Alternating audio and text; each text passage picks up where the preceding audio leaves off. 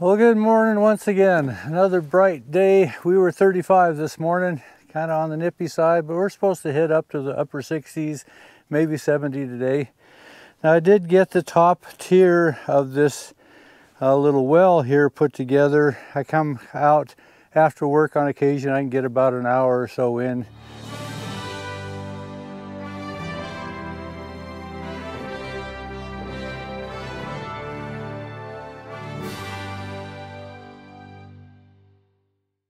So I've got this top layer here, I think right in line with this skid. So I'm going to hook the pickup over and I want to put this skid right on top of this end wall here. And then my pipe will go down through that. Then my goal, if everything works out, I got my pickup tied up to the chain. I put the 4x4 on the back end of the shed. And I'm just going to kind of inch it over to where my end of my shed is kind of at the end wall of this little well. Hopefully she works. I'll get her into low range here.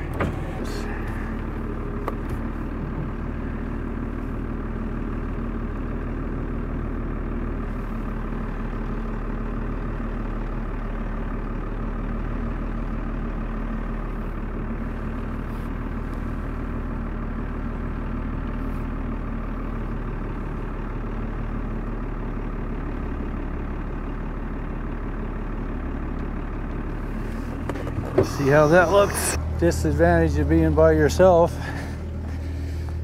Yeah, it looks like I went just about six inches too far. So I'll just do the reverse. I'll just pull it back a little bit and kind of get this jockeyed in here. About six inches. Let me go try that. Well, I'm thinking I can kind of live with that. I'd like it just to fuzz under so any moisture wouldn't come in and run in. This should shed a little bit. I think that'll work. Well, from here on out, it's going to be just digging a six foot deep trench down to my, just to the left of the gate here. I'll go down and show you kind of the lineup, what I want to do to this water line to the building. So I think my goal is to bring it right down through this area. I may have to push my wood pile back a little bit, but I want to make a straight shot from there to here. And just across the fence, I have a frost free hydrant that's going to go down six feet. It'll stick up two feet. And this is the corner where my winter shelter will be. So that's kind of the goal. We'll fire up this tractor and do some backhoe work.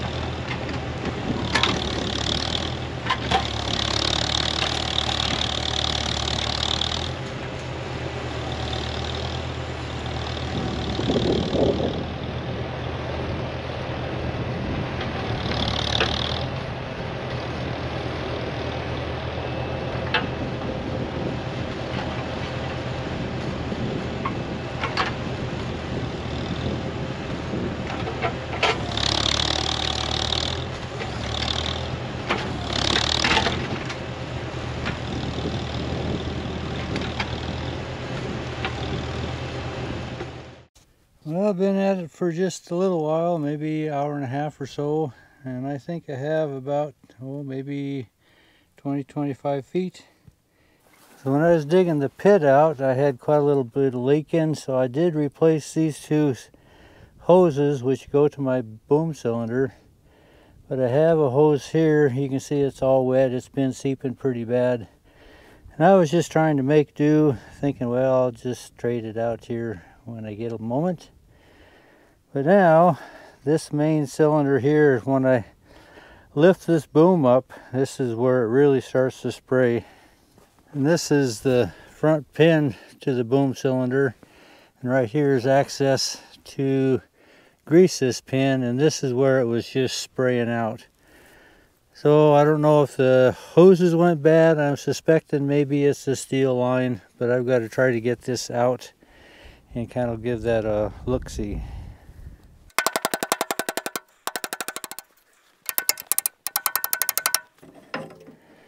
In order to get this out, I've got to start it up and retract this ram back up into the cylinder. So I'm suspecting it's the line that goes to this end. There's a steel line that goes up to this end here. Maybe that's the deal, but I've got to retract this up anyway.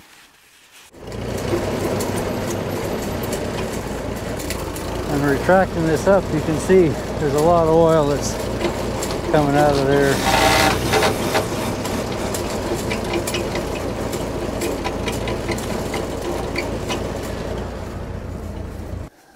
Oh, we gotta pull pull this back out again.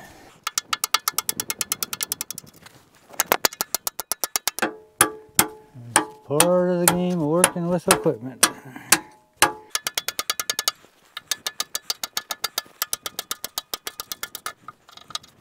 Let's see if we can get this back out of here.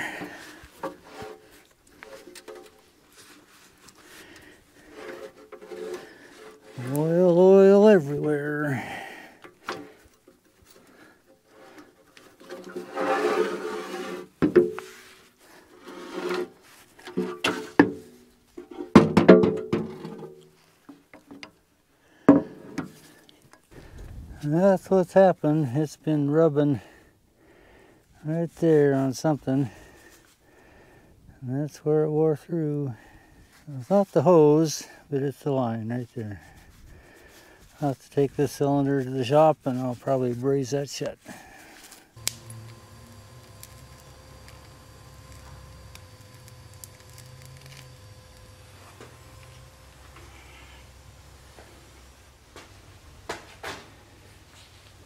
My guess is why this rubbed is this has been bent right here.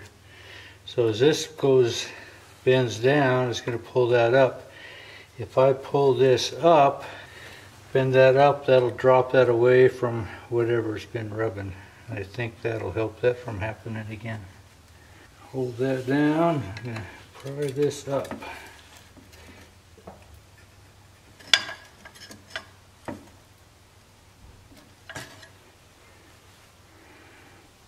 That drops that down pretty significant. I think that'll help. Well, good morning. It's been about a week since I've been out here digging with this backhoe. I've kind of had problem after problem after problem. So we did get a little snow over the night, uh, kind of the first taste of winter. We're not really into the cold spell yet, but it's just kind of knocking at the door. I'm going to run to town this morning and get some more parts that I think I've got this thing finally figured out. I'm about halfway, so I'm going to show you just how far I am. Well, I'm kind of thinking I've got about 120 feet to go and I've probably got about 70, 80 feet done. I've got most of it at six foot. There's a little bit here that I kind of went overboard and I am about seven foot, but too deep is better than not deep enough. What I'm trying to do is head down just past that fence line. That's where I want to put it frost free. So hopefully here we're supposed to have a week of about 50s, maybe upper 40s.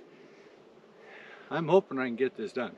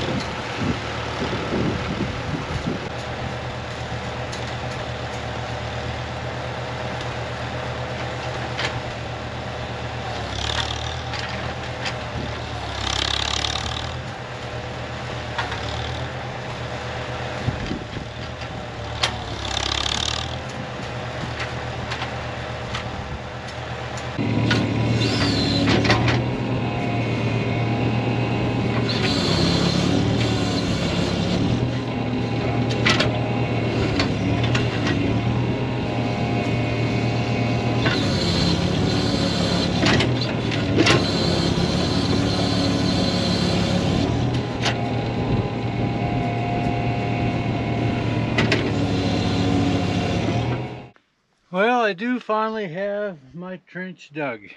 And in the scope of this video from your perspective, I'd say, oh, it didn't take very long. Actually, that's not quite true. It took me the last two weeks. I've been fighting little things that um, kept showing up on this backhoe. So overall, I'm about 130 feet from this water tank shed down to this point. I came just across this fence line and so I'll have my frost-free hydrant here so I can be able to water, stock water just right across the fence. And then next summer I may just go on from here. But this was my goal this winter, before winter came, was to get to this point. Now more about why it took me so long to do this. Let me show you something that I, I went to school, and this is called the School of Hard Knocks. So when I had the leak on the steel line to the cylinder that runs this boom, I took it down and brazed it, and brass doesn't have the pressure resistance that steel does. I was hoping it was just going to get me by, and it did for a while. The other end of that steel line also broke from the cylinder tube. Now I tried to weld that multiple times. In fact, I think it came down to about nine or ten times and I could not get that rascal to quit leaking. So I finally took it all apart, re-welded it, that didn't work, and in the process of that I blew a hole in the line, so I did take it to AIH machine in Billings and they put a new line on for me and that got that problem solved. But there was another problem. Well, in my going to school, I, I learned about hydraulics to this degree that I did. This is my tank. It's a five gallon tank. And everybody told me that I wanted to put the filter in the return line. So I did. I put it in the return line to the pump. And a number of you who are familiar with hydraulics recognize the cavitation that I had. So I first initially thought it was air in the system, and it was not it was the restriction of the filter to the pump that was causing the cavitation, which is a starvation of fluid to the pump. So I looked and I looked and I talked and, you know, yep, filter in the return line, filter in the return line. What it finally dawned on me was the filter goes in the return line to the reservoir, not the pump. And so that was one thing that was causing cavitation. I think maybe that was part of the problem, but I now know it was not all of the problem. In a conversation that I had at the hydraulic shop in Billings, Womack, Dan there just happened to mention, you know, if you ever get one of these tanks that have a little screen in the outlet, you want to get rid of that screen. I didn't realize I had a screen right here in this outlet. But I took the filter off and there was uh, there was hardly any flow at all. It was about a pencil-sized stream out of an inch and a half outlet. And like something is wrong. I took all this assembly off and I had just a trickle out of this.